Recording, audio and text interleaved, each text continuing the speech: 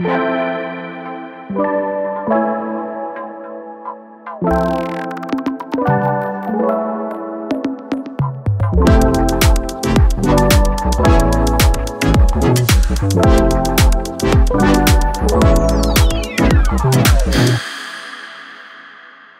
everyone, está no ar mais um episódio do Style House Talks. Eu sou a Tatiana Moreira, arquiteta e interior designer aqui em Miami, diretamente da minha sala de reuniões.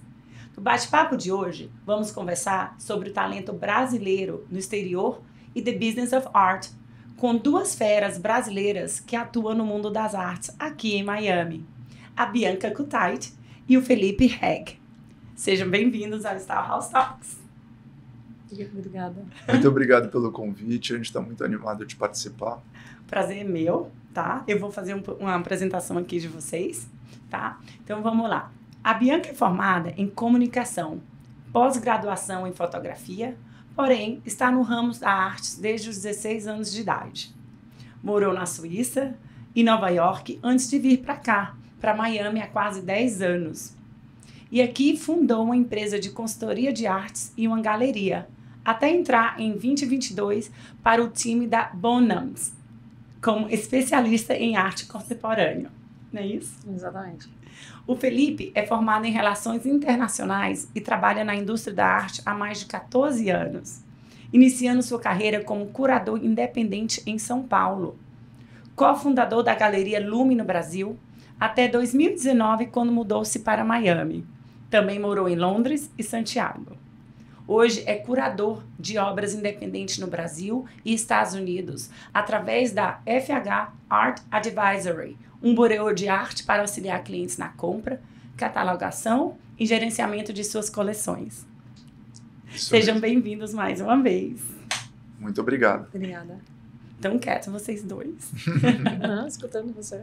Então, vamos, eu gostaria de começar um pouquinho, falando que vocês falassem um pouquinho do background de vocês, né? De como o background de vocês até aqui hoje, para a gente poder falar do talento brasileiro aqui em Miami. Que tal? Maravilha. Bi, se quiser começar? Eu sempre. Eu, eu venho de uma família onde metade da minha família é família de médico, a outra metade é família de pessoas que trabalhavam com arte, trabalham com arte. Então eu tinha duas, dois caminhos que eu admirava muito. E acho que a medicina tem que ser um dom, um amor e uma dedicação que eu não sentia isso desde criança, como meu pai sentia desde criança sente até hoje. E então a arte para mim era uma coisa que eu olhava e eu sabia que eu queria fazer aquilo, não sabia como, mas eu me via toda metida executiva, de terninho, e tal, trabalhando com arte. Não sabia que, que ia chegar onde eu cheguei, mas é, hoje eu, eu tenho essa memória de criança que eu queria sentar numa sala, que eu queria ter é, esse, esse tipo de trabalho e hoje eu tenho exatamente isso. Tudo bem que a minha sala tem mais 40 pessoas junto, mas é tipo, era o que eu, era o que eu sempre quis. E Assim. você tem certeza que não queria ser médica? Eu tinha certeza desde o primeiro dia que eu abri o olho que eu não queria ser médica, mas eu queria eu queria querer ser médica, mas não é a Uhum. e foi realidade. seguindo. E você entrou ah, presenciando isso na sua família? Sim. E sim. como que você incorporou isso no seu dia era, a dia era mesmo? foi muito orgânico desde o começo foi muito muito orgânico e quando quando eu percebi que eu sabia fazer que eu já tinha eh, com 16 anos que eu comecei a perceber que eu sa- que eu entendia eu já tinha passado a vida inteira ouvindo meu avô minha mãe então eu sabia é, isso era foi, foi meio instintivo então eu sabia mais algumas coisas por experiência do que o pessoal que estudava comigo Hum. então eu já gostava eu já gostava disso um, eu tinha um a mais porque eu tinha experiência de casa Isso. então, foi totalmente orgânico para mim, e totalmente natural, mas com esse desejo que eu sempre tive. E quando eu fui fazer faculdade, eu fiz faculdade de comunicação e eu sempre focada em arte, sempre pensando como que eu ia trabalhar com arte, como que eu ia evoluir aquilo que eu já sabia que era. Aham. E, e só essa, essa evolução foi totalmente batalhada, foi suadinha. aham. Eu falo orgânica, orgânica é piada. É, foi batalhadésima, Mas é orgânica décima. porque você começou já vendo dentro de casa, né? Orgânica porque eu sabia, dentro do meu coração, Hum. acho que esse é o mais orgânico que isso é impossível. É, essa parte orgânica era o que eu já sabia desde o começo que era isso que eu queria. Mas foi muito batalhado. Foi não, né? É muito batalhado, é muito suado. Quem acha que, a gente até conversou disso outro dia, quem acha que trabalhar com arte é glamuroso, Só, não é tá, só o glamour. é, não, zero. O glamour é para quem tá- é, não é não é o nosso. A gente tá no backstage de tudo isso. Aham. E eu gosto desse backstage, eu gosto de estar por trás das cenas, eu gosto de ver as pessoas interagindo dentro desse mercado que é, um- é uma indústria gigante. Aham. E uma indústria que gera muito dinheiro, gera muito emprego e tem muita coisa boa acontecendo no E mundo inteiro. E você, Felipe? Você É, começou. Eu, eu tive uma, uma história um pouco parecida com a Bianca, assim, eh, de um lado também venho de família de médico, mas de outro lado eu venho de uma família de uma avó artista plástica, ah, os filhos dela são todos trabalham com alguma coisa relacionada à arte, e desde pequeno eu sempre tive muitos amigos artistas. É Entendi. engraçado, eh, tem músicos, eh, pessoas do cinema, das artes plásticas, e eu eu relutei bastante assim para trabalhar com arte. Então fui estudar relações Você- internacionais. aham. Eu sempre gostei, mas eu achava que que não era muito não, sério. Não tava futuro. Exato, é. E daí eu fui trabalhar no mercado financeiro, trabalhei em multinacional.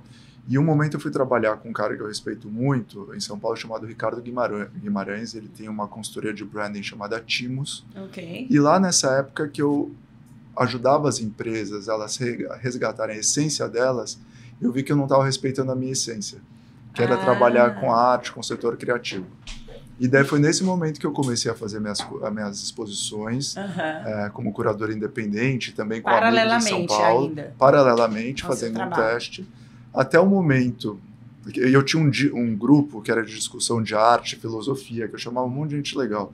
Em um desses encontros, ah, ah, eu reencontrei o Paulo, que é meu ex-sócio na época da galeria, Uhum. e a gente resolveu abrir essa galeria juntos, basicamente do dia para a noite, se jogar nessa. E, e eu acho que é quando aprende mais, né? Quando a gente se joga. Então a gente aprendeu muita coisa do zero.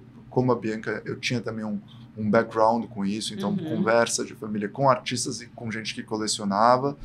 É, e muita coisa eu aprendi também na marra, É, como empresário das Fazendo. artes, como a É, Bianca. fazendo. Na né? marra É- é é um- no é- dia a dia onde a gente aprende mais, né? Tem que ter a experiência. Né? E, e como que chegou de vocês resolverem mudar para cá e continuar trabalhando na arte? Né? E trazendo a arte brasileira para cá, é Uhum. isso? É, eu, eu, quando eu vinha com o meu advisory para cá, antes de eu mudar, eu vinha com a minha sócia e a gente atendia clientes, e a gente atendia clientes brasileiros muito, que queriam comprar coisas, porque o Brasil tem uma dificuldade, a gente pode até depois conversar um pouco mais sobre isso, elaborar mais sobre isso, mas uma dificuldade muito grande de entrar e sair obras do Brasil. Então, muitas pessoas queriam vir para os Estados Unidos ou para a Europa e comprar as, coi- eh, as obras aqui e manter aqui, porque não tinha como levar, não tinha não, não Mas- tem como levar Mas para o a Brasil. dificuldade por quê? Do, é, burocracia ou você está falando do artista, do talento Não, não, brasileiro não, fora? Não, não, ao contrário.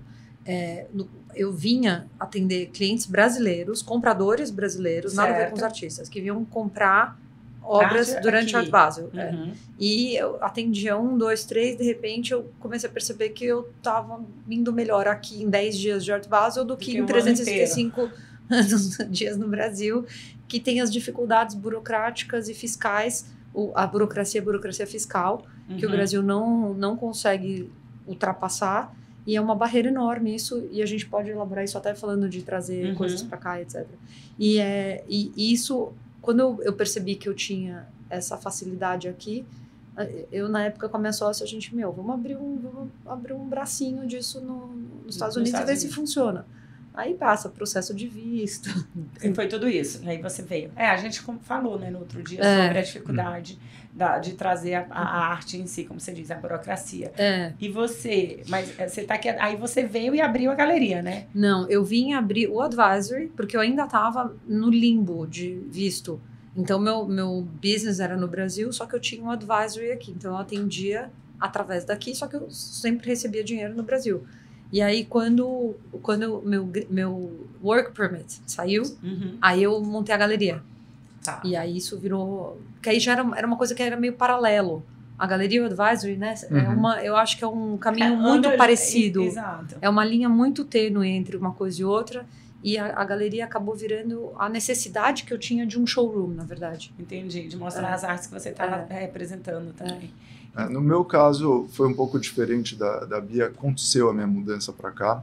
Eu já estava negociando a venda da galeria que eu fundei lá atrás. Ah. E uma, uma necessidade, não necessidade que eu sentia, mas eu tinha algo. Primeiro, eu, eu colecionava já arte. Segundo, amigos meus que, que eram também meus clientes me pediam ajuda. Devo comprar isso ou não devo? Mas eu, como galerista. Todo mundo pedia. Eu, eu, eu, preciso, eu precisava um, apresentar os artistas que eu representava, né? Uhum. E eu falava, nossa, mas eu queria fazer mais do que isso também. Então eu, eu usei essa oportunidade de vir para cá para abrir minha empresa de Art Advisory. Por que, que foi Miami e não outra cidade?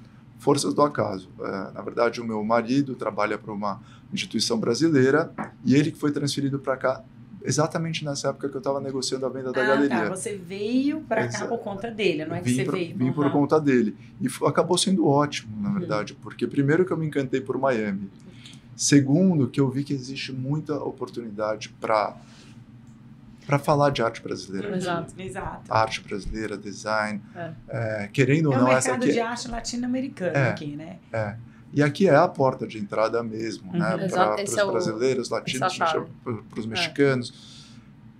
Por isso que Miami está tão interessante Mas- também, né? finalmente a gente conseguiu entender isso. Muita coisa boa acontecendo, né? E Miami sendo um polo mesmo, uma referência de, É. de arte no mundo, né? Assim Mas on- até essa semana agora eu encontrei com uma pessoa que hoje, até hoje ele é meu advogado, já tem alguns anos. Ele foi o advogado que trouxe. Ele era prefeito de Miami na época. como- E ele trouxe Art Basel. Ele foi para Art Basel na Suíça. E ele trouxe o modelo pro- do MCH para cá. Uhum. O MCH é o grupo Nave Mãe, que é dono do, do Art Basel. E eles trouxeram para Miami para atender o público latino. A Arte Base fez 20 anos agora, não foi isso? Fez 20 anos. É, na- Teria feito 21, mas no com 11 de setembro pulou um, então tinha, é. Mas eles, quando eles trouxeram para cá, já era com o foco para atender o mercado latino. E é, clientes financeiramente preparados para fazer essas aquisições. E ele foi desbravador.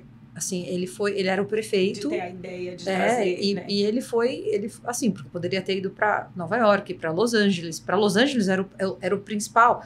E não, veio para Miami, que não tinha nada, há 20 anos, que não tinha absolutamente nada. É era pântano metade É. da cidade.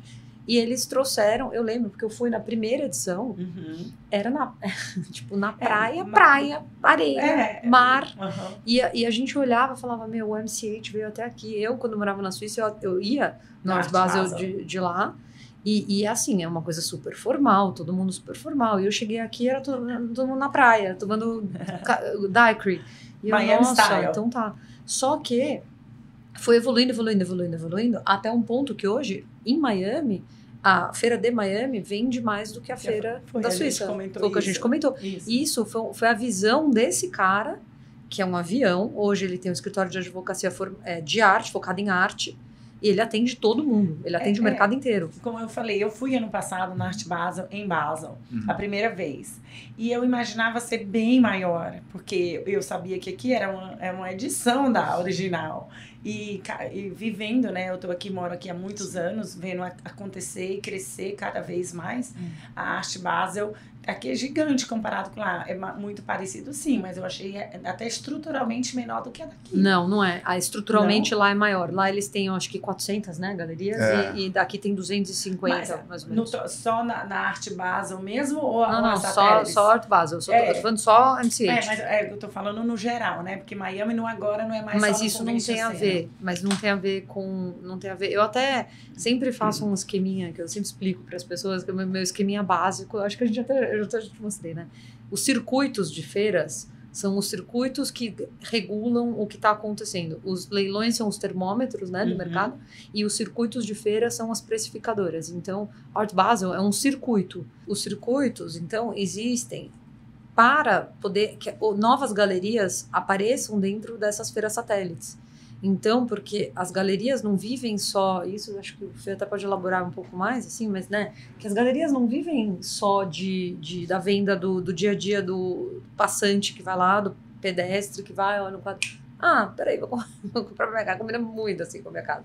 Então, não é, existe, as feiras servem, na verdade, para Claro. é sim relacionamento, eu acho que, é, que, é, que é muito bacana.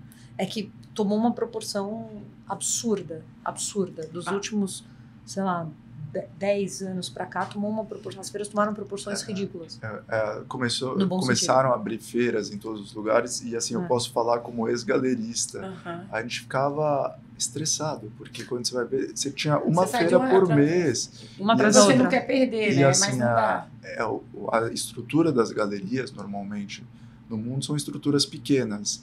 Ah, são operações que, que movem bastante dinheiro, mas assim, tem oito pessoas dentro de uma galeria, é uma galeria já estabelecida, entendeu? aham. Tirando aquelas as blueprints que a gente chama, Ah. são essas quase que ah, indústrias. As galerias normais têm até oito pessoas. É Imagina só considerado você grande, ter que né? mandar Bastante. três pessoas Aham. para cada um desses lugares. Hotel, A- a, comida. a operação é muito custosa. Então, é, com o tempo a gente começou a entender que valia ma- mais a pena estar nas cidades certas, né? Entendi. Então, é, muita gente fala ah, sobre Miami, e realmente Miami virou um polo, né? Isso. É, mas a arte De não arte e funciona em design. qualquer lugar. A arte tem, tem que ter um lugar com muita circulação e com muito dinheiro. A gente que sai de São Paulo, a gente sai mal acostumado, É. que é uma cidade rica. Entendi. Porque tem Entendeu? tudo, E tem, tudo. é uma Nova York. E tem tudo ao mesmo tempo. É. Hum.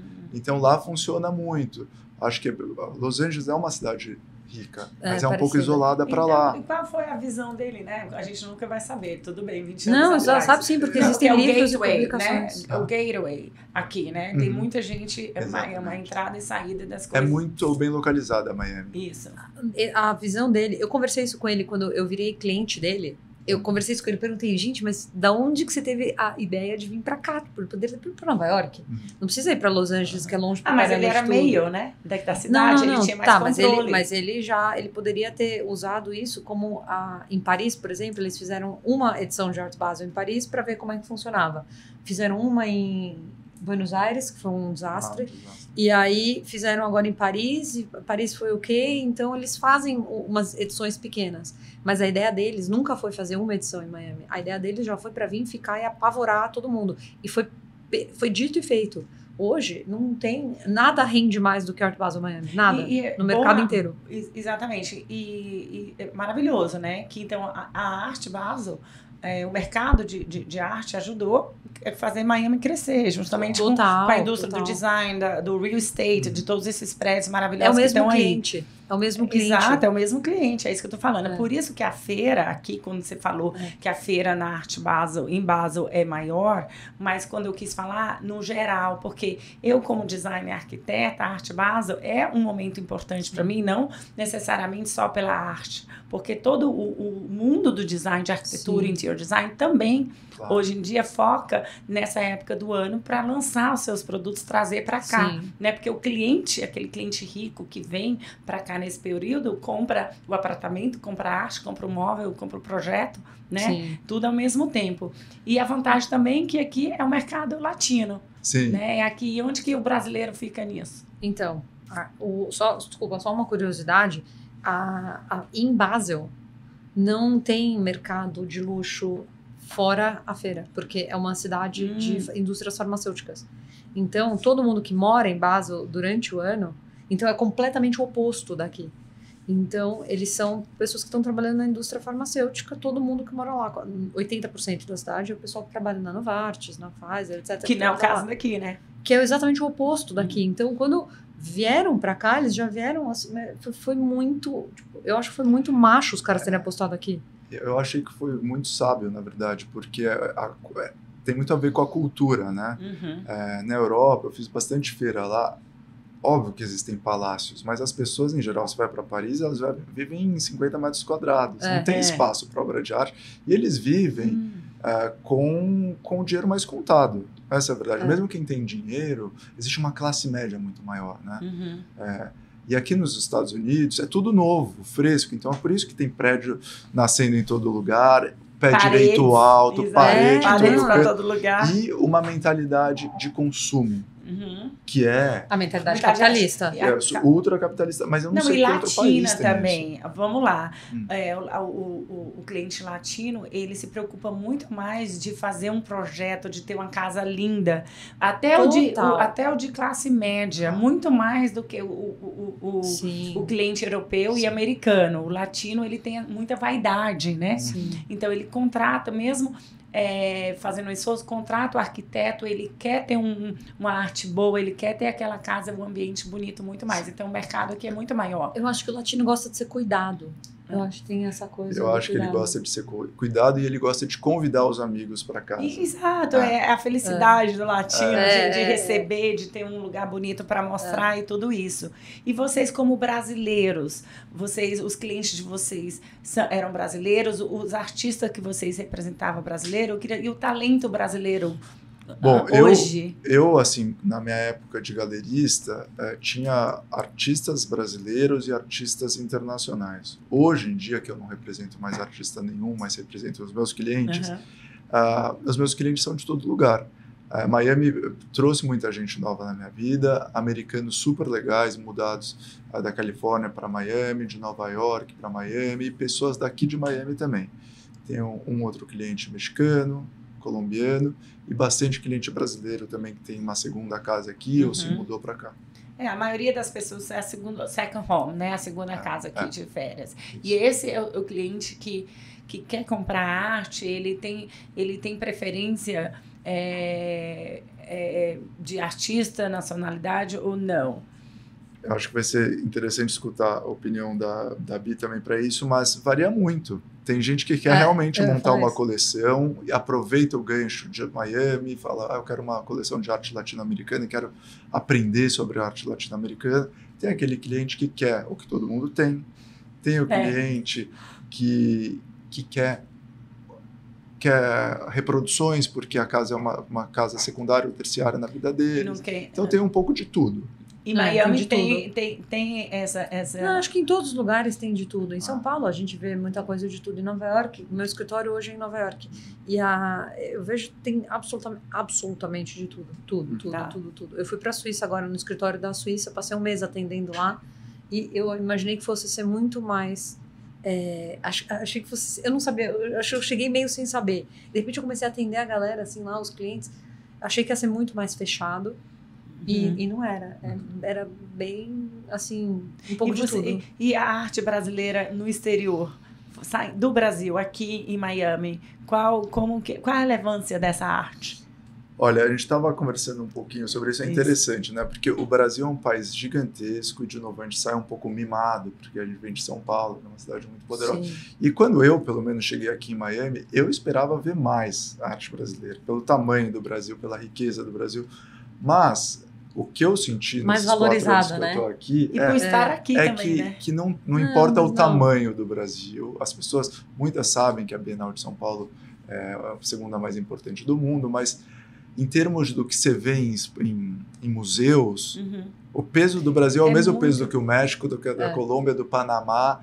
Existe um outro artista que tá, que, que, a gente viu nesses últimos tempos em, em, museus importantes aqui. Mas não é que, que a gente é mais importante do que qualquer outro país latino-americano, é, entendeu? Entendi. Que, e poderia ser, eu acho que existe essa existe essa cultu, esse nicho cultural muito maior para nós de para o México. Uhum. Isso eu falo até em relação a clientes. Os clientes latinos, a gente divide, pelo menos dentro do, do leilão, a gente uhum. divide assim: Brasil e México e o resto da América Latina. Ah. Então existe uma divisão bem clara. Ali, Brasil Entendi. e México é um grupo e o resto dos países latinos é outro grupo, todos. Certo. E isso é uma coisa que a gente, assim, como comprador, tá? Agora, como artistas, a gente vê, eu acho que a gente vê pouco, né? Porque existem pessoas com muito talento e muita exposição cultural. Eu acho que essa é a, é a palavra-chave de tudo na minha interpretação. Então, sei lá, é, eu, dentro dos leilões, que são os termômetros, uhum. né? A gente vê muito assim, Lígia Clark, Lígia Pape, Hélio de Sica, os, os mesmos que de sempre. E aí, quando aparece um novo, agora a gente acabou de ter uma. Em novembro, a gente teve uma obra gigante da Adriana Varejão no, uhum. no nosso leilão e foi um sucesso. No dia seguinte eu encontrei com ela. E por que isso lá. não está sendo bem representado? Não, por causa das dificuldades tributárias. Exato. Não entra e sai. O Brasil, e eu falo também então, com um pouco isso. de propriedade, porque eu estou envolvida onde é, um irmão trabalha com, eu sou com, com vai, cara, sou, ele é especializado em transporte de arte, uhum. e ele fala, Tatiana, é muito difícil, é uma burocracia tanto que as pessoas desistem. Desistem. E isso vale mais a pena para muita gente manter as coisas que compram em storage aqui. Uhum. Isso. E depois revende. E depois você guarda. E, é um investimento, mas para levar mas acaba... no, sinceramente, quem fala que não, que não compra por investimento? Ou você compra porque você ama, É. ou você compra porque você está investindo. E ge- geralmente as duas coisas ao mesmo tempo. Porque ninguém tá picando dinheiro. Assim, Ó, Tati, eu, assim, desde a pandemia, né, muitos brasileiros também saíram daqui, né, Uhum. aproveitaram esse dólar alto e a valorização de Miami, né, que todo mundo resolveu mudar para Miami, os preços dos imóveis subiram muito, muito. então eles resolveram botar o dinheiro no bolso, né, e, assim, o que aconteceu e acontece até hoje, gente falando, Felipe, tô vendendo a minha casa, mas eu vou deixar as obras de arte, você me ajuda a vender essas Sério? obras de arte? Sim, que não vão mandar de volta para o Brasil. Aí, Que não não vale dá, não dá é pra tipo, mandar. Tá, ven- tô vendendo e eu quero vender as minhas Sim. obras, entendi. É, e porque não dá, não dá para não dá para mandar para o Brasil. Eu vou usar esse exemplo da, da Adriana Varejão, do- da obra dela que estava no nosso leilão. A gente tinha vários é, clientes que estavam bidando pela obra e o, o cliente que não, o underbidder, que é o que não comprou, Uhum. ele era brasileiro e ele no telefone comigo, ele assim, bom, então dá, então vou deixar a obra aí, tá, em Nova York, você já ajeita pra mim, então eu tava no, com ele no telefone, tipo, anotando toda a parte da onde que é o transporte, da... e assim, eu tô falando uma obra também na tua parede, então Aham. não era uma coisinha que você pega e Fácil. guarda, Uhum. é, tem que ter um transporte, é super complexo, e no final ele acabou não comprando por causa do encargo tributário, e aí foi pra uma coleção em tristeza, Londres né? maravilhosa. Que, que tristeza, um país tão grande. Mas, Mas- gente, não, mas, brasileiro ó- sabe o tanto de, de, de burocracia que existe para tudo no Uhum. Brasil. Não é só para é, para entrar com várias coisas, vários itens. Existe uma carga tributária muito grande. Muito, mas, Mas- isso é irreal. Isso é irreal para todo, para tudo. Uhum. Né? Você vai comprar um cotonete, eu compro um cotonete mais caro, porque senão você não vai, você vai infringir. É, é- é- é- muito palhaçada. E, e tem diferença agora, Bianca, na forma que você trabalha na empresa que você está trabalhando Sim. hoje, que é uma, uma mega empresa, né? Sim. Como você disse, a terceira maior do mundo. É. do que é, fazer é, em, em smaller scale, na escala menor, quando você fazia na sua própria galeria. Cara, é totalmente diferente. Hoje eu respondo para uma empresa britânica com sede nos Estados Unidos, meu escritório é em Nova York e eu fico baseado em Miami. Então é meio que o samba do crioulo louco nesse Aham. sentido. E a diferença é que eu tenho que eu tenho que entender a logística financeira, tributária e a realidade de cada um que vai vir, tanto do cara que vai me consignar as obras, para o cara que vai comprar e o que, que ele vai fazer depois com aquilo. Eu tenho muito cliente brasileiro, mas eu tenho muito cliente mexicano. Inclusive, eu acabei de vir da Zona Maco. Uhum. Meu, fiquei impressionada. É maravilhosa. a feira, Impressionada. né? Caiu meu, meu queixo, caiu no Ela chão, tive tava que falando buscar. pra mim que lá no México. É, tava- eu te contei a história, Foi. né? E Tava, o- quem, sa- sabe quem tava lá? E ele estava lá, a o Sean Kelly, Uhum. e ele estava lá. Eu não acreditei. Kelly é um dos maiores galeristas do mundo. Ele tava ele lá, falando, olá, boas tardes, Eu, para todo mundo. eu voltei recentemente do México também, eu não pude ir na Zona Maco. Cara, eu amei, é, fiquei mas eu, apaixonada. eu voltei, sei lá, umas três semanas e é impressionante aquela cidade. Impressionante. mesmo. Uma cidade muito rica, Faz muito tempo É, que eu não vou lá. muito sofisticada, Muito é, sofisticada. em termos de arquitetura, em termos Lotado de arte. É, eu tenho Ah, alguns clientes é. é, mexicanos e eles têm muito bom gosto. Eles querem as coisas boas. É, exatamente. Mas sabe qual que é a diferença no, no- no quesito arte? A- não, a- em São Paulo a gente tem o SP Arte, no Rio tem o Arte Rio, que é ótimo. Então são, é, são as duas, essas feiras são as facilitadoras da entrada e saída de arte para o Brasil. Fora isso, não dá para brincar. Não, não dá. O, o Tico Teco não se falam. No México, você passa o ano inteiro comprando coisa e não tem problema nenhum tributário, fiscal. É tudo legalizado, tudo bonitinho, tudo organizado. Porque aí funciona a economia para eles. Em vez, então, no Brasil é uma pena, porque em vez de você estar incentivando e, e gerando mais dinheiro, então os caras querem o imposto de 3 em vez de poder usar a venda de 300 Uhum. com um imposto de menor Muito menor. não dá, não dá para não dá para levar, não dá para levar a sério. Então isso é uma coisa que a gente acaba vendo muita é, muita coisa que deixa de pa- pa- passa batido, porque não vai não vai conseguir evoluir, não vai conseguir passar. E tem muita gente muito, Muito boa, boa. É, muito boa. Mas eu acho que pegando o gancho de Miami, que é a cidade que estamos vivendo hoje, né? Aham. É, e falando da arte aqui, ah, existem várias formas assim de trazer os artistas para cá, né? É, acho que nós dois, assim, a, gente, a Bianca como ex-galerista em Miami, eu como art advisor, a, a gente lançou muitos artistas aqui, Uhum. fez exposições com essas pessoas. E eu até hoje eu fico entre, eh, São, entre Miami e Nova York apresentando o trabalho desses artistas para galeristas ou para curadores. Ou para seus ou pra clientes. Então a gente tem, tem feito E um tem trabalho... tido sucesso? Sim, tô- direto, tanto em Miami quanto em Nova York, a gente cons- eu pelo menos consegui algumas representações legais para artistas. Uhum. Então a gente faz esse trabalho porque merece, porque tem artistas muito bons. No- que em merecem. todo lugar do Brasil, não necessariamente só São em Paulo. todo, Todo lugar lugar do do Brasil. Em todo. Você, você se surpreenderia.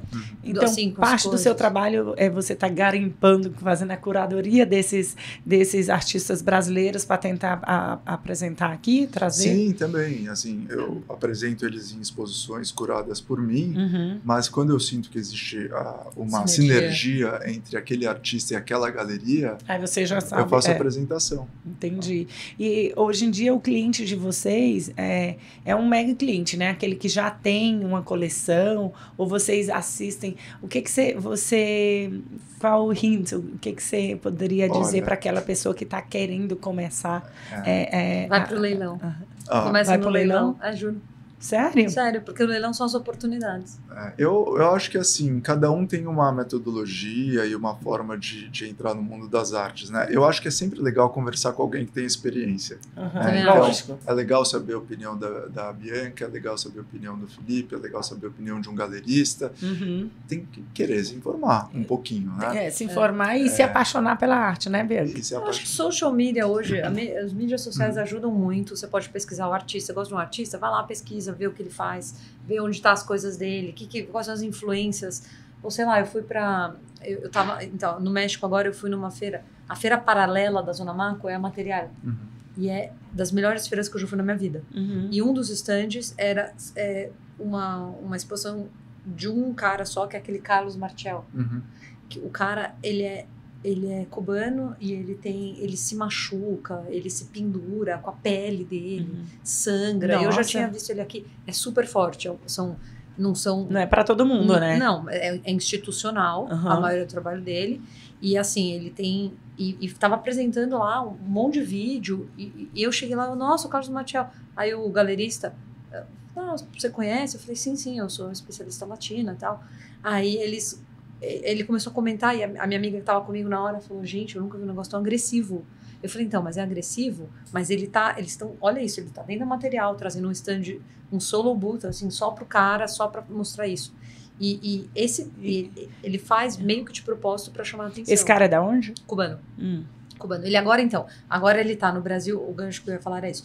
Ele tá no Brasil, em Salvador, junto com o Heráclito, tá morando com o Heráclito, para eles fazerem projetos juntos e tal. Então, é muito legal. O Heráclito é um super artista brasileiro que já participou de não sei quantas bienais fora do Brasil, já participou inclusive da de Veneza. Uhum. Só que não, não- é difícil o, tra- o trabalho dele fora do Brasil porque é um trabalho extremamente com viés religioso. Uhum. Então é muito difícil apresentar fora porque não é todo mundo que entende. Eu sou super fã do trabalho dele, mas é muito difícil. Quais são alguns nomes de artistas brasileiros é, que reconhecidos mundialmente assim que ficaram até hoje?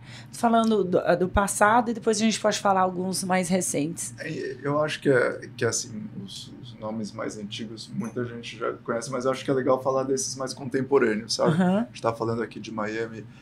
Quem que a gente viu, por exemplo, no Pérez Museum, né? Que é o PAM também, né? Aham. Que é um museu dedicado à arte latino-americana.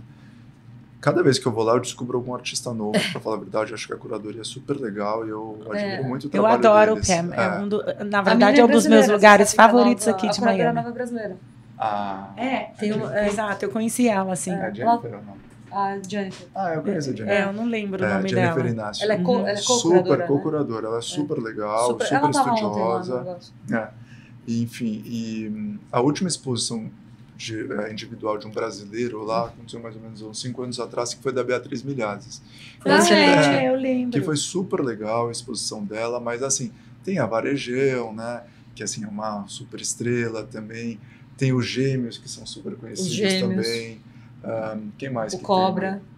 o, o Cobra, que faz É, o muito Cobra é sucesso o Cobra, aqui. aqui que é. E nos prédios, né? No- o em Cobra Nova York também. Muito sucesso. É. Muito É, sucesso. A gente conhece, todo. é, No conhe- mundo um todo. irmão que faz o transporte da, da, da arte dele. É, ele é É. muito bom. É, E ele é um eles- cara legal. ele é uma pessoa ele é bacana. representado pela Eden, né? A galeria lá em South Beach, aqui. Aham.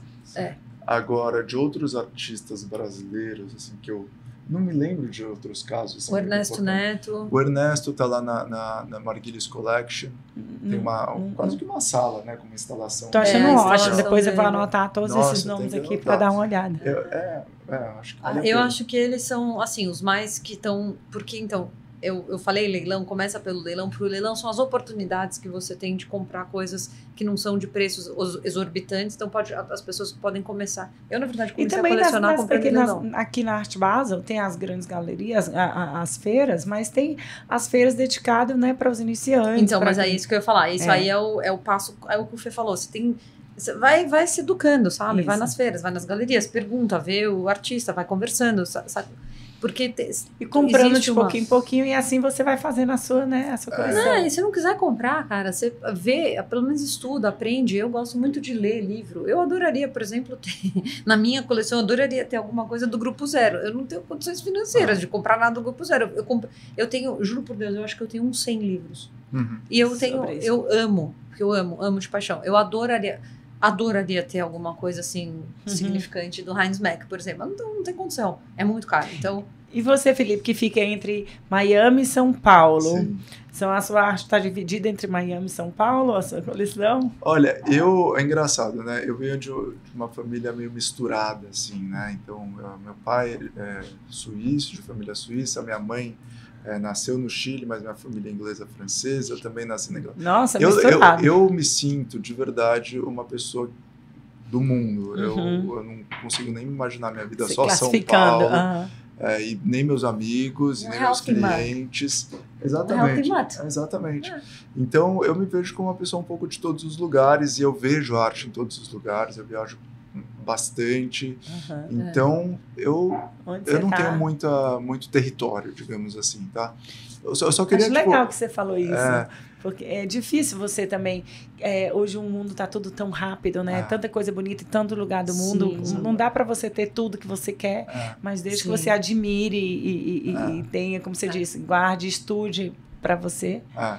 Eu, eu queria Sim, só voltar aham. um pouco na questão anterior, porque tem uma coisa que me deixa um pouco chateado. ah, aí eu acho que de repente é meu sanguinho suíço que gosta de fazer as coisas direito e um pouquinho fazer uma boa economia.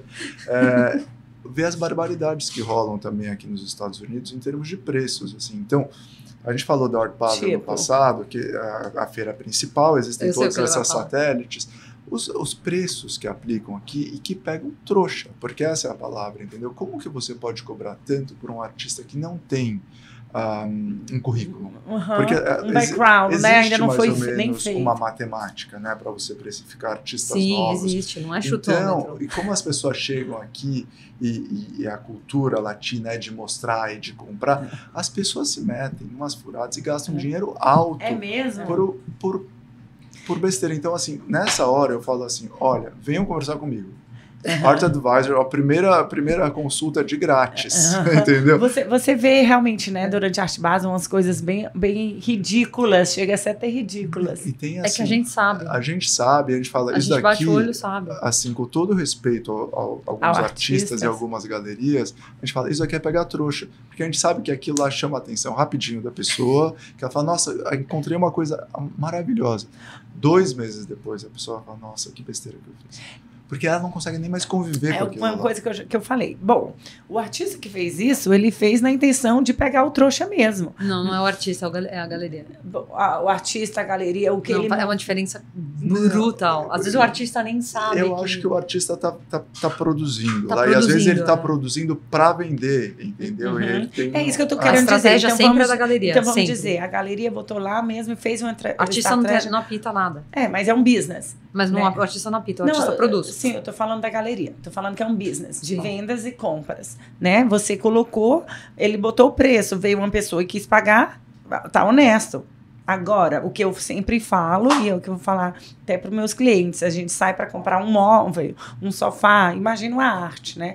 Eu tenho até um nível, tenho certo nível, até certo nível ali, eu, eu ainda é, dou a, a, opinião, eu faço uma pequena curadoria até o, o, nível que eu sei. Depois daquilo, aí eu falo, vamos chamar Sim. um curador para ajudar na, na, na, escolha. Mas o que eu estou querendo dizer aqui hum. é que ele colocou para vender, a pessoa quis pagar. Mas eu, eu vivo dizendo que primeiro você olha, você ama, você não vai comprar de supetão, você tem que se, se segurar eu acho que é, essas besteiras acontecem mais nisso, no, no, calor da emoção, uhum. né? No calor da emoção que você amou aquela peça, você vai comprar, você nem estudou, você não, se, não, não falou com um especialista como vocês, uhum. e vai e paga e depois, dois meses depois, se arrepende. Se arrepende. E daí me liga e fala, ah, Felipe, eu quero vender. E não dá para vender. vender pelo não mesmo dá. preço, nem perto, às é, vezes, né? A gente estava falando disso é. antes da gente começar aqui. Tem muita gente que fica, que quer o que quer, quer ganhar o mesmo preço, mas não assim é, não tem como. Principalmente numa, numa, cidade dessa que é todo mundo show off, né? É, é, é que, não, que, em qualquer lugar tá tipo. Não, eu imagino. Eu, eu, não tem como. Eu, eu tive uma, uma, associação aqui, mas é, é, o, que eu, o que eu escutei uma vez, eu estava vendo uma palestra sobre arte e, e, e a pessoa palestrante que eu não lembro o nome agora, ele falou exatamente isso. Para os iniciantes saiam olha a arte, não compre de imediato, estudem. Liga né? para o Felipe. Isso, liga para o Felipe, para pessoas. Mas a, a, a, além disso, né, de chegar em casa, você tem que ficar com aquela arte três, quatro, cinco dias na cabeça. E daqui uma semana você ainda está pensando naquilo, é porque é para ser seu. Né? Ah, ah. Porque não de não comprar. Então eu aprendi isso, eu achei super legal. Eu posso contar uma história que aconteceu claro. real isso? Antes de eu, de, de eu entrar na, na Bonums, uh, eu tinha um, um, cliente que me pediu para eu fazer uma reavaliação dos preços da coleção dele. Que é um trabalho difícil uhum. e arduoso, e quem nunca fez não tem noção o trampo que é absurdo, né? Porque não é, não tô falando de uma coleção pequena, tô falando de uma coleção assim, com muita coisa. E ele tava com tudo, ele tinha tudo bem organizado, ele tem tudo organizadinho, mas os preços estavam um pouco é, outdated, então tinha que deixar tudo bonitinho. Aí ele tinha uma obra específica e foi bem no, na transição que eu tava entrando na Bona, eu falei, ah, ó, vem cá, já dá aqui para mim que a gente já põe aqui para vender e tal, não sei o quê. E ele acabou não aceitando porque ele queria o mesmo preço que ele tinha pago. Aí eu ainda falei para ele, eu falei, mas deixa eu, deixa eu entender aqui, deixa eu ver seu, seu quanto você pagou, deixa eu entender direito. É tudo bem, tudo claro. Não uhum. tem uma coisa. As pessoas muitas vezes me perguntam: ah, não, mas é tudo muito shady, muito assim, muito assado. Não, no leilão é tudo público, é tudo auditado, é tudo completamente público, não, tem, não passa um, um mosquito. Aí eu olhei o preço que ele tinha pago, eu falei: gente, ai meu Deus, ele pagou muito acima do valor do primário do, da peça. Aí eu fiquei, putz, eu juro, eu fiquei com o coração na mão, porque um, eu adoro essa, esse cara. Eu, ele é um super, uma, uma pessoa super bacana. E, e, dois, não tinha como vender pelo preço. E ele aí eu falei. E o que, que aconteceu? Nada, ele ficou com a peça, tá com a peça até hoje. Não, e, mas assim, o que, que, como que ele comprou sem um, um, advisor? Porque ele comprava muita coisa. Na época, no começo, ele comprava muita coisa impulsiva. Eu não sei também, não, não, não julgo como que foi a uhum. compra dele, a, ou as compras dele. Mas essa peça específica é uma peça super importante, valiosíssima, e tá na casa dele porque não tem como vender, porque ele não quer vender pelo preço real do que é. Então, e eu fiquei, nossa, juro, eu fiquei tão chateada, isso ficou na minha cabeça meses, eu tentando arrumar uma solução, a gente foi atrás, foi atrás de várias coisas e não, não tem solução. Eu passei uns três meses, pelo menos, depois que eu entrei na Bonus, assim, tentando ver documentação, ver uma solução não tinha solução. E Felipe, nenhuma. é isso que acontece? Oh, Tati, então, você, adorei não, sua é, pergunta, o melhor né? exemplo. Por que do, que, do, não, do ótimo falou? exemplo. E adorei que você falou, ah, por que, que ele não consultou um uhum. advisor? Porque não existia ah. Art Advisor. É uma, uma profissão que é relativamente nova, assim, começou, é, acho sério? que nem há 10 anos atrás. Com a explosão das feiras de arte no mundo, com a Aí, internet... Existe regulamentação hoje. É, é, as pessoas começaram a comprar mais arte, uhum. entendeu? E daí entendeu-se que, que que as pessoas precisavam de ajuda para comprar arte. Porque até 10 anos atrás, você se interessava por arte, você fala, nossa, eu conheci, vamos pegar, tipo, é. uma, uma pessoa muito uh, legal no Brasil, a Luiz Estrina. Conheci a Luiz Estrina. Ia fazer a coleção muito baseado no que a Luiz Estrina apresentava. Uhum. Mas o momento que você começa em feiras de arte, você fala, nossa, mas tem muito Tem mais muito do que mais só do uma que só galeria. isso. Se cair em uma furada, a chance é, É. enorme, Uhum. entendeu? E daí que A necessidade, a, a necessidade das carreira. pessoas querer né, uma, uma certa ajuda Exatamente. e aí que nasceu a carreira. Não só para comprar, mas também essas pessoas que compraram, se arrependeram, mudaram de gosto, a, a vender. As pessoas não sabem, às vezes, do caminho do leilão, E- não e sabem, eu- não entendem de mercado secundário. Então, o Art Advisor, ele ajuda... Ele sabe o Isso. caminho, ele sabe todas as pontas. É, E é isso que eu entendo, né? O colecionador de arte mesmo, ele tem aquela coleção, mas não fica lá para sempre. Ah, muitos deles ficam girando, né? Fica por um tempo. Ah, acho que a E é- maioria, né? É, é, eu, eu às vezes eu fico revoltado comigo mesmo, porque eu falo, nossa, mas como assim? Eu, já não gosto mais desse trabalho, mas eu sou um especialista, eu não poderia não, não gostar, mas Entendi, acontece. Mas você gostou um tempo e É. depois você quer passar para Ah, frente, troco, é isso? eu troco na É. minha casa. Eu levo pro store, tiro e Não, ponho. e é isso que eu, que eu entendi, porque ah, vários clientes que, que têm tanta arte que não tem mais espaço, que fica no storage, e aí fica lá um É, eu tempo. Aí decidiu, decidiu, agora essa aqui tá na hora de vender, vamos passar para frente, que aí vou comprar outro. Então eu entendi que é aquela que cansa, que nem eh, eu tudo eu quero comparar com, com o que eu faço, né? Que nem a casa. Depois é de muito 10 anos você, você, você cansa do sofá, eu quero tocar um sofá novo, eu quero uma mesa nova. É. Porque você está toda hora olhando para aquele quadro, aquele Ah. quadro. A não ser que você tenha um valor muito sentimental com aquela peça, você fica, né? Então, assim, e é isso que você vem, né? Você faz a, a a catalogação da- Sim, das catalogação, peças e tudo. é. E aí tá na hora de vender, vamos passar essa para frente, vamos Exatamente. comprar outra. E assim, só para é, finalizar, Bia, desculpa, é, no, no mundo da decoração, o de que, que você você, consegue comprar Uhum. e revender depois por mais? Nada, né? Porque depois de cinco anos o Então, valor olha da só, peça olha é só zero. a, a importância de, de você fazer um uma compra consciente. Porque assim, você vai Ah, gastar muito mais é do que no super design. verdade, nem, nem Você vai gastar muito mais do que no design e às vezes você vai se dar muito mal. Isso, Então, é a- as pessoas que estão aqui para ajudar, É. é, elas querem que você se dê muito bem, entendeu? Uhum. E existe um caminho. É, existe uma estratégia. Existe uma estratégia. É porque a arte é um investimento, É. né? O sofá é um investimento que você tira no seu dia a dia. Mas o É sofá seu você usa. Então é isso que eu tô dizendo, que você tira no seu dia a dia, pro seu prazer, tem um valor de pegar aquilo que você está usando no seu bem-estar da sua casa É, e vai acabar, porque você usa. A arte não se acaba, ela não se estraga, ela pelo menos não deveria, né? Acontece às vezes. Bom, aí eu tô. É, Eu ia falar uma coisa do Felipe. Eu acho que assim, tem, existem muitos, hoje em dia tem muita gente que se é, que, que, que é advisor, que se autodenomina advisor, whatever. Eu acho que existe uma coisa também que você é assim, eu também fui assim, mas eu acho que o Fê hoje é um exemplo mais maior, assim. Existe uma coisa chamada qualificação. Uma É. pessoa tem que ser muito qualificada. Isso aqui, não- o que a gente faz não é chute. Não, com certeza, né, Bianca? Não, e o Felipe é um extremamente qualificado para poder falar de todas as pontas do mercado. Então, é, vamos falar de fotografia, vamos, vamos falar de leilão, vamos, vamos falar de feira, vamos, vamos falar de, meu, jogar carta no céu para fazer foto e fazer. Ele sabe, vai, vai ter a referência. Isso, a diferença que faz isso, fora isso tudo, a qualificação, existe um segundo, um segundo fator que eu acho absurdamente importante, chama reputação. É. Vou levar você lá em casa, Felipe. Eu vou adorar. Não, é assim, é, e é, e a gente, a gente tava falando antes, assim, né, a gente tem uma, eu e o Felipe, a gente tem uma sinergia, tudo, a gente se conhece de criança, mas a gente tem uma sinergia muito grande, porque a gente sempre pensou muito parecido. Ah, então tá, legal, vamos fazer isso aqui, vamos, putz, mas ó, o caminho legal é esse aqui. Uhum. Não dá pra desvirtuar, porque depois você não consegue voltar. Consegue retroceder. Eu até isso falo um pouco até por mim, sabe? Quando eu entrei na, na, na Bonhams, pra mim foi um, foi um marco na minha vida, Uhum. porque eu sempre quis chegar nesse ponto na minha vida. E de Entendi. repente, quando eu cheguei, eu percebi que o pessoal na minha, na minha equipe é todo mundo extremamente qualificado. Mas assim, absurdamente qualificado. E eu cheguei, e o pessoal novinho. É, e não é nem por é, qualificação por experiência, né? Porque não, a tem experiência, idade, a experiência é. sou eu. Aham. A galera lá de 30 anos, meu, meu catalogador fe- fez Fine Arts em Yale. O cara tem Aham. 25 anos. Eu, nossa, então, então tá aí. Que bom, né? Não é, por, não é à toa que é a É. terceira maior do mundo, Hum. Bianca. É, mas e isso, o que o, não é. Eles contratam, acho que todas, na verdade, as casas de Você vê o currículo da galera que trabalha nisso, a galera é muito qualificada. Muito. E a gente no Brasil, não só artistas, o ponto que eu ia falar, o gancho que eu queria falar, a apoteose disso tudo é assim: a gente tem muita gente muito boa no Brasil.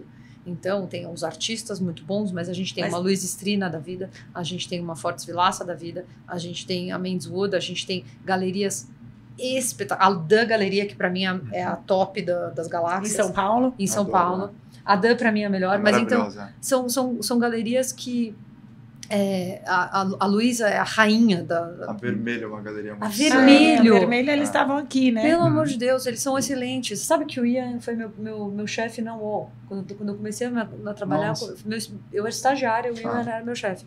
Então, são coisas que você vai vendo as galerias crescendo, só que. Então, sabe quantas brasileiras estavam no México agora, no Zunamaco? Lá do lado do Shankele. Tava o, a Verve, Duas, Uhum. três. Tinha a Bianca Bocchio, a Marli Matsumoto, com projetos pequenos. E a Verve num mega, Que legal. uma hein? esquina, na frente da Hauser. Que legal. Eu cheguei para os meninos e eu falei: pronto, eu, meninos, parabéns para vocês. Cara, é, é- é tão difícil chegar nisso, É. é. tão complexo chegar nisso. E existe uma coisa de resiliência que você tá lá o tempo inteiro batalhando, batalhando, batalhando, batalhando, e não se sucumbindo às baixarias do mercado, Uhum. às maluquices, porque existem em todos os mercados do mundo, mas no de Exato. arte, saravá. E, no- e nesse, nesse mundo de arte que vocês estão aí, né, que está super rápido, é, como que está hoje? E, e para meio que entender what, what is next para essas galerias, para o artista, que eu acho que, que a dificuldade, como você falou, da burocracia, né, é, de sair, mas você está fazendo essa resiliência dessas aí, é, que tem tanta gente boa, mas elas não chegam né, a ultrapassar Olha, as barreiras. Ah, eu e a Bianca, ah, nós gostamos de videogame e de tecnologia. Então, quando você me pergunta aqui qual, Ah. what is next, NFTs? não, não, eu tô falando assim, art? não dá para saber what is next uh, to the world, entendeu? Não só no, no mundo das artes, mas a gente não sabe Não o que vai acontecer que vai amanhã, acontecer se amanhã. vai acontecer uma guerra entre eh, com os Estados Unidos, é. sabe, com a Rússia, a gente não sabe. A gente consegue sentir um cheirinho de algumas tendências, entendeu? Então a, a história de, dos NFTs meio que aconteceram, eu nunca acreditei muito, mas eu acho que era um É, outro também. Eu acredito é, muito. Eu sei é, que um outro um outro braço aí, sabe, um outro caminho incrível como certificados. E acho que sim, existe espaço para isso, mas eu, assim, uma coisa que eu vejo assim, eu acho que a arte ela reflete muito o que a gente está vivendo, entendeu? Então, é, os artistas muitas vezes servem de catalisadores, né? Eles, eles sentem o zeitgeist, né? Uhum. que é aquela palavra alemã que eu não sei, não sei se eu estou falando direitinho. Mas é, uma coisa que a gente vê hoje em dia é o mundo agora, tá podendo acontecer uma guerra. A gente vê a questão do consumismo desenfreado. A gente vê a questão da depressão. É, Muito a, a grande, gente né? vê a questão da devastação. Então, o que eu vejo que vai ser, que a gente vai ver nas o que eu acredito que a gente vai ver nas exposições daqui para frente é, É o reflexo disso. é a tecnologia, é o meio ambiente, é a, Global warming. a desigualdade, global warming. é, É. então é, É, é uma aí. expressão, o É. artista, né? A expressão do que ele está sentindo e fazendo e vendo. Eu acho que é como você disse, reflete o que ele está vivendo, Exato. o mundo de hoje, atual, é verdade. Eu acho certo. que isso é historicamente isso. Então, por isso que a arte é uma coisa que sempre vai existir, porque é, é a representação do que está todo mundo agora vivendo. Então, daqui cinco minutos você viu o que viveram. Por isso que eu acho que eu gosto tanto do Grupo Zero, porque, Uhum. porque mostra a realidade que a gente vive hoje, só que pelos olhos deles é muito parecido. E eu comecei a estudar, eu, eu fiquei louca na época que eu comecei a entender o que, que era. E eu fui atrás, eu fui, viajei o mundo já atrás de exposições dos caras, ficou Uhum. louca. Fui em sete exposições, eu fui em Istambul, na Alemanha. E a arte também, né? Você estudar a Porque arte, é isso, é você histórico. viver a arte, você aprende a história, né? Você, através da arte, você aprende sobre períodos, sobre tudo. Eu acabei de chegar de Dubai, né? Eu fui no Louvre de Abu Dhabi. Eu não sabia o que eu ia esperar, é bem menor do que o Louvre mesmo, mas achei, achei super legal, entendeu? De ver, né, uma, uma galeria tão famosa, É. com um nome tão grande, É, é. lá no Novo Mundo, vamos chamar assim, porque ali é uma potência, né, do que eles estão querendo trazer, mas, a não tem potência história. financeira deles ele é, É- muito maior. Então, é isso que eu estou dizendo, é uma potência É, financeira, mas que não tem história, né? Abu Dhabi é uma cidade nova e tudo, então eles estão tentando trazer a história para lá através das histórias é, de, de outros países e museus. É, eu, eu nunca fui, infelizmente. É, eu também não. Tenho maior Que foi a primeira vez conhecer. agora. Fiquei surpreendida, assim, mas assim, é uma a man-made city, né?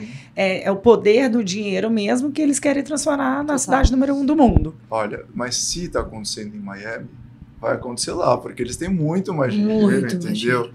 Também é um hub super interessante Uhum. é, e eles querem, né? É, eles, é, querem. eles têm um visionary behind everything, tem um cara que tem uma visão, que é quem está construindo tudo, e tem muito poder, né? Muito dinheiro. Então, é impressionante você ver as miniaturas dos maiores prédios do mundo. Arquite- Eu, como arquiteta, eu fiquei assim, maravilhada de ver os maiores arquitetos do mundo, cada prédio, prédio assim, no meio do deserto. É, Então, assim, ainda está em construção, é uma coisa que está acontecendo, né?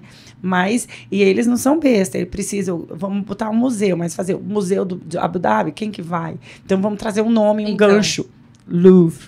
Então, mas o Louvre de Abu Dhabi foi o que comprou o Salvatore Mundi, não foi? Uhum, foi. É, e aí eles Hum, usaram isso como Sei da história. marketing. Uhum. É, não, e assim, o- hoje em dia existem mil é, provas de que, que não Mas é, não é estava falso. lá, tá? Não estava lá. Não, Não mas tá. é, tá lá, mas fica na coleção Não, fica é isso que eu ia dizer, não estava exposto. Não, tinha eles não toda tinha do Leonardo Até da porque Vinci. tá nessa, tá nessa polêmica. coisas. Se pode, se não pode ser real ou não. é, Nossa, eu não sabia disso. Não, então eu vou dar um. Pra vocês eu- assistirem The Lost Leonardo, o filme. Eu assisti. Ah, é verdade, eu lembrei. eu assisti. Jesus amado. Eu, assisti, entrei no eu cinema. é. Eu fui no cinema com o Ruben, a gente sentou, assistiu, a hora que terminou, a gente. Nossa, vamos assistir de novo? Vamos. Ficamos na segunda sessão, assistimos de novo. É. Nem saiu, nem levantamos da Muito cadeira. legal, é. Mas é isso, é, é- é como você diz, ninguém sabe o que vai acontecer next, mas a arte continua aí, vai continuar existindo, né?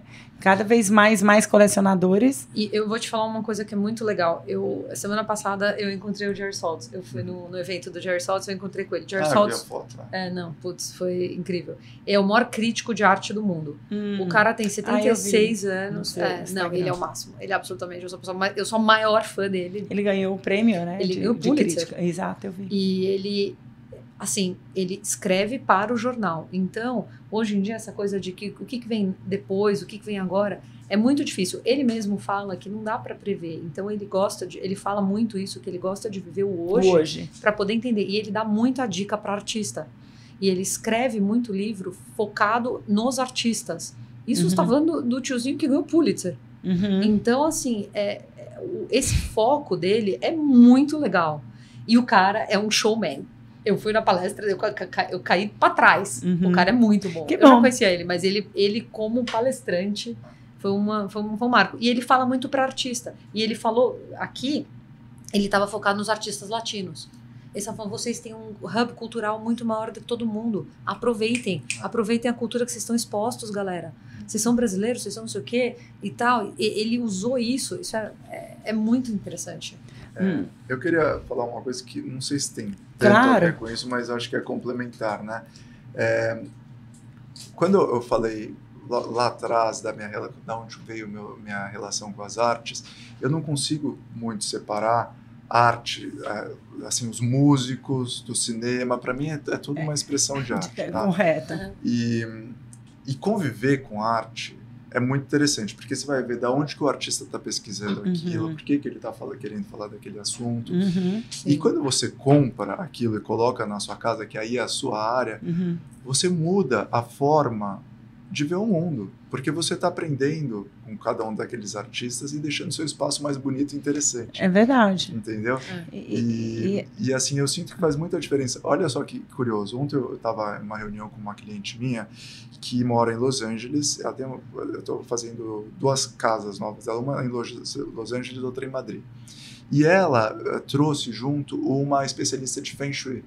Hum. Tá? Então ela quer harmonizar a casa e ela não quer usar os elementos clássicos do Feng Shui, tipo uma, uma fonte ou Uhum. uma cabaça dourada Uhum. ela falou, em vez disso eu quero colocar arte. Então ela me colocou para fazer Isso é uma pesquisa Muito legal. Meu, super interessante, sabe? Como- Eu já tinha feito isso uma vez. É, E, isso é né? ver- legal. e ver, né, como as pessoas estão mais preocupadas com o bem-estar dentro Com de casa e juntando, linkando isso, né? Claro. Exatamente. Então, assim, mesmo que você não queira virar um grande colecionador e você queira, você queira só tipo, viver bem em uma casa legal, é, é legal você fazer ah, o investimento.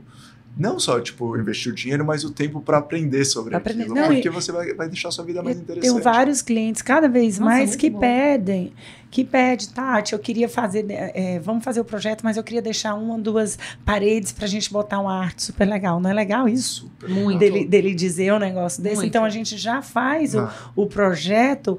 é, com- tem duas formas, né, de, de eu fazer o projeto. Um, o cliente que chega, comprou a casa nova, vai reformar. Eu queria fazer o projeto, mas Tati, eu quero aqui na sala colocar um espaço para uma arte legal. Aqui vamos botar uma escultura. Já me fala. Então eu faço o projeto e a arte vem depois. Ou seja, a gente vai curar a arte depois do que o projeto está pronto. Ou aquele, a segunda forma, né, que o cliente já tem a arte, Uhum. né? Tem aquela arte, Sim. olha, tem essas peças que eu amo, E, tem que e quero eu preciso, colocar. é exato, eu preciso que você faça o projeto é considerando isso. Então você já faz o projeto Ah, com isso é essa legal. visão. Isso é É, legal. Eu acho que os dois é legais. Eu acho que É, o primeiro é. é. mais difícil ainda. Uhum.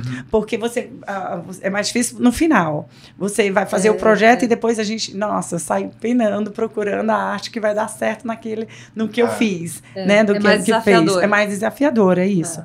Quando é, a- na segunda opção, quando a arte já existe, é mais desafia- desafiador. Para mim, no, no início, peraí, eu tenho essa arte, isso, é o que acontece, como que a gente vai dar atenção a- a- no, lugar certo. Mas é tudo muito, muito bom Mas ter você, parte. você especificamente, você entende também. Você tem essa, você já foi Não, tem uma exposta a muita visão, coisa. exato, porque o meu olho tá lá, né, toda hora, vindo, vivenciando. sabe, é. É, como você disse, a experiência. Eu não faço, não sou dealer, mas eu tô sempre participando das Não. feiras ao redor do mundo. Eu vou para museu. Eu adoro meu é, passatempo que eu vi, perguntei a vocês, o que, é que vocês gostam de fazer? É a mesma, como você disse. A, a arte não é só a, a, a, a art é, itself, né? A música Sim, é, Sim, é, é é- tudo. é- é tudo. Eu acho, eu me, me considero um artista. Eu lembro uma vez Entendeu? que você foi pra feira de Milão de design, e você Uhum. voltou e você sentou uma vez comigo, a gente sentou pra uma conversa, começou a me contar da feira de Milão, mas você tava pirando em tanta eu, história. Olha, eu já falei isso. Eu chego Nossa, da feira. Não é? Não, você lembra fazer- disso? Eu quero fazer tantos apartamentos. Olha, eu, É. eu tenho que chegar para ter 10 projetos, porque é tanta coisa, você vem tão inspirada. Juro por Deus, eu É. até pinto, assim, é, como você diz, eu desenho, você, você tem o dom da, do- da arte. Eu gosto, é um dos meus passatempos, e eu vivo dizendo que eu vou me dedicar mais, dedicar, achar o tempo para me dedicar mais, né? Mas é o que eu disse, é a, é a arte, é a- uma das formas de, de mostrar arte do- através do desenho, através da música, através da pintura e tudo isso, né? Então, do desenho, do design, do bom gosto, do olho. E eu adoro ir para museu, eu adoro viajar, como acho que. E é cultura, então você vai Sim. aprendendo através disso, não é? Ah, posso, né, a Bianca tinha comentado lá atrás, eu, eu concordo e eu acho que eu sou um fã número um assim, de arquitetura e adoro também decoração. Mas a Bianca tinha comentado lá atrás da importância da reputação, né? Da gente Uhum. ter construído carreiras em um mundo que é, é, um- é super nichado e a gente ter uma, uma determinada reputação. A reputação ela é importante também no momento que você vai comprar, porque a gente vive no meio das artes, né? Então a gente sabe daquelas famosas fofocas sobre É. os galeristas, sobre os Nossa. colecionadores. Aham. E, e a Que é gente importante. a, a gente sente as águas e fala, hum, Hum. melhor sair daqui, entendeu? Entendi. Então, é, me fez pensar, eu tava, eu tava com isso na ponta Mas, da língua. Felipe, eu acho que as fofocas existem em todos os, os Sim. trades, todos os mercados, Sim. né? Então, por isso que é importante a gente estar com pessoas do ramo, Uhum. que qualificadas, que tá escutando a fofoca do seu ramo. Sim, sim, Eu sim. tô aqui eu, escutando a fofoca, ai, não compra aquele sofá que aquela empresa vai eu escutar que tá fraco, aquele, não sei, os instaladores acho que não vai chegar ao final, porque não entendeu aquela, é, imagina, né? Então, por isso que, que a gente tá, tem que tá, re- eh, trabalhar com gente reliable, como fala isso, Uhum. é, reli- Confiança. de confiança, De confiança. gente que a gente conhece, que vai atrás. Mas sabe né? o artista que dá certo? É o artista que se mantém nessa posição pra, perante ele mesmo Uhum. e continua dando certo porque ele se mantém reliable dentro do, do- do trabalho dele.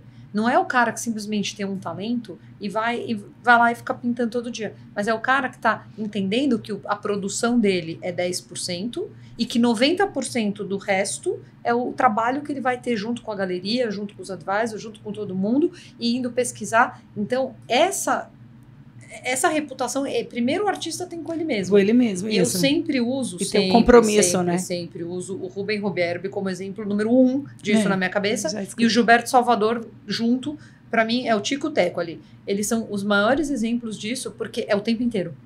O Giba, o Gilberto Salvador, é uma pessoa que eu, eu falo com ele, eu falo 10 minutos de oi, lindo, que saudades, haha, ri, ro, damos risada, 80% de arte, nem que não for para falar de trabalho, a gente fica falando de arte, conta disso, conta uma história, conta uma fofoca, conta não sei o quê, mas oh, teve Pinacoteca, abertura da Pinacoteca ontem, o Giba já me É quando você faz o que você ama, É, né? É é. natural. Mas tá engajado, É, é, engajamento, é, era é, essa já- palavra que eu É, já tá dentro de você, natural. Você, é o assunto que você É. quer falar, você quer entender, você quer escutar, você quer É. presenciar. É. isso, é arte. É Tati, arte. eu queria só ah, contar uma, uma história rápida, assim, para ajudar a entender um pouquinho mais que tipo de fofoca é essa, né? Então, assim, existem algumas formas. Não, existem aquelas fofocas cabeludas que eu não quero Tem nem falar. ótimas. Mas, assim, só para você entender. Então, um artista que entra numa Bienal é um artista que vai chamar a atenção de mais gente, tende a valorizar. A gente É. fica sabendo quem vai entrar na Bienal às vezes antes. Hum. Entendeu? Só para você ter ideia, dentro de uma galeria, a- você começa a montar uma exposição de um artista dois ou três anos antes da exposição. Nossa. É, então, é, é, as pessoas não têm ideia disso. Elas As falam, pessoas "Ah, acham que é, montar uma vamos exposição." agora. É, porque ele tem que começar a Abracadabra. produzir para aquela. Né? Não, mesmo se já tem em produção. Mesmo que já tenha produção. E a gente que, que viaja bastante, a gente começa a ver também as tendências de cada um dos lugares e fala, olha, nossa, o cara acabou de ah, fazer uma Bienal em tal país e agora né, no outro país que é uma, uma superpotência está se falando sobre o mesmo tema. A chance daquele artista ir para aquele país é muito grande. Hum. Então você consegue, através dessas fofocas, dessa sensibilidade, também começar a indicar alguns caminhos legais Fofocas e conexões, clientes. É né? verdade. é, e, é, mesmo a Bianca, assim, trabalhando no, no- com, com leilão, ela consegue sentir esse cheirinho. O que, que vai fazer sucesso nesse leilão?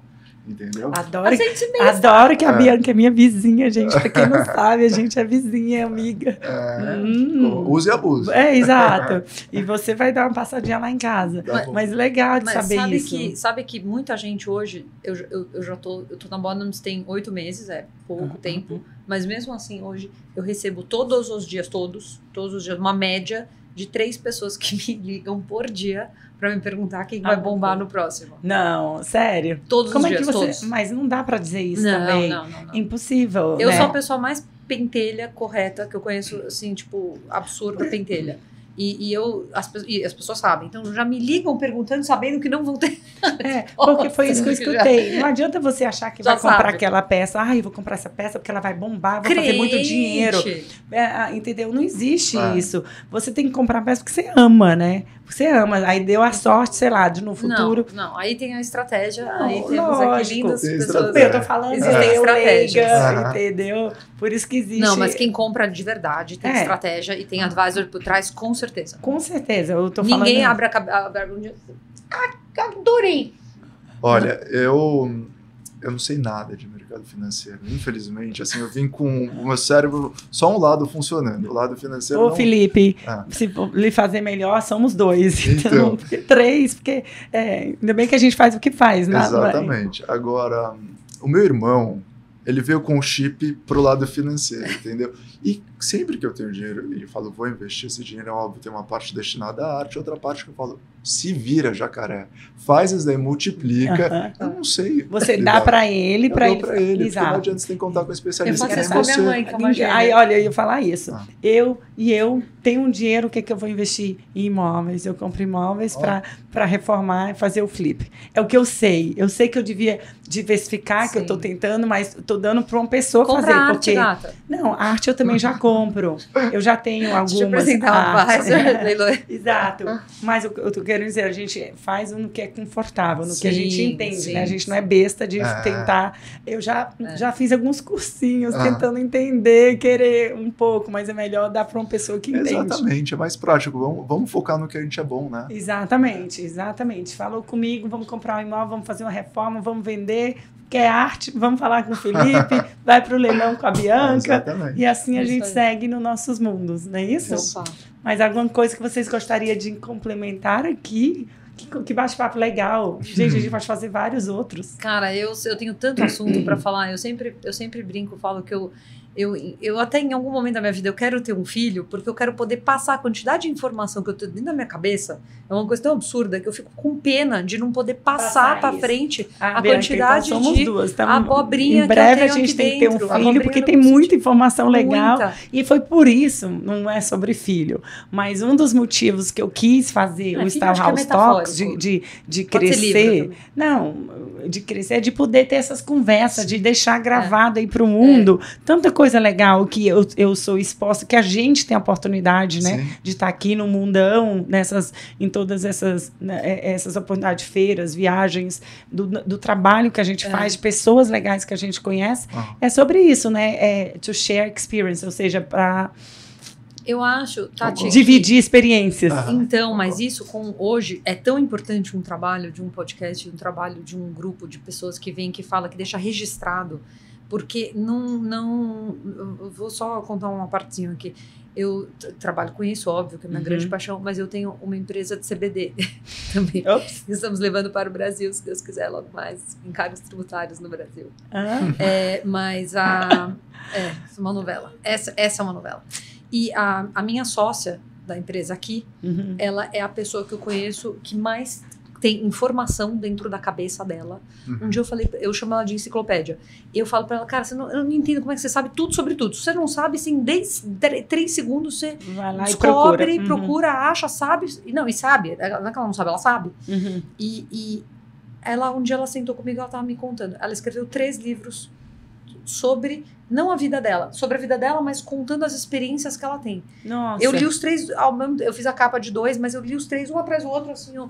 Nossa, é muito inteligente a pessoa que tá exposta. Aí, um dia, eu... eu A tudo isso, a né? tudo isso, mas porque ela foi exposta a muita coisa.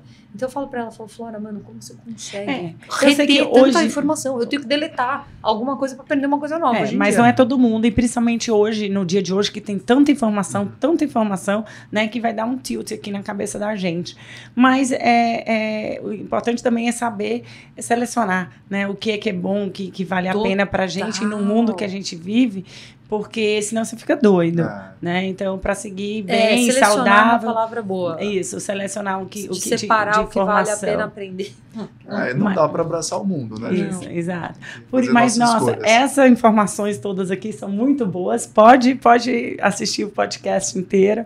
Gente, estou super A gente feliz. Obrigado. Muito obrigado, o papo. Obrigada. Podia ficar aqui mais uma hora, Obrigadão. mas ah, ah, Sempre um prazer estar com minha amiga Bianca. É, não, falando eu de também arte, sempre amo adoro. fazer com o Fê, porque A- a, gente tem uma sinergia muito boa. Bianca eu conheço há muito tempo, né? Você, a gente, como falei, somos vizinhos há muitos anos. Você, Felipe, é um prazer lhe conhecer cada Prazer, vez mais. Eu, a gente se conheceu naquele outro evento, sim, né? sim. Na verdade, eu vi vocês dois falando e foi por isso que eu quis convidar os dois aqui hoje. A gente tem uma sinergia legal. Não, e o, o material E que vocês têm. complementar. Isso, É, complementar o material. E tem tudo a ver com, com, com o mundo que eu vivo. Muito obrigada mais uma vez pela presença de vocês, tá? Então, é isso. A gente, estamos finalizando esse talk cheio de informações valiosas. Eu espero que você tenha gostado. Te vejo no próximo episódio. Não esquece de deixar o seu like. Aproveita e me segue nas redes sociais. Estamos no YouTube, Spotify e no Instagram. Um beijão e até lá.